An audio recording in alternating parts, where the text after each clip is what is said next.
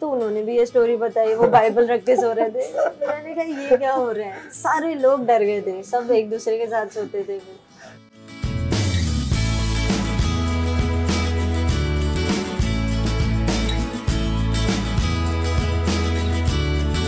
इतना मतलब scary hotel था वो। हाँ।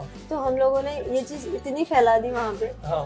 कि बाकी जितने भी टीम्स थे हाँ। वो सब भी डर गए थे। मतलब ऑस्ट्रेलिया रह रही थी वहाँ पे और न्यूजीलैंड थी।